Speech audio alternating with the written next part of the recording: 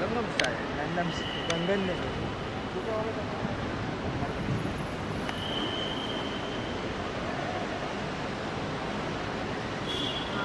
Hello ma'am. Yeah ma'am, one second. Hello.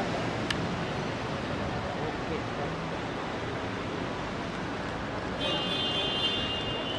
Hello ma'am. Yeah ma'am,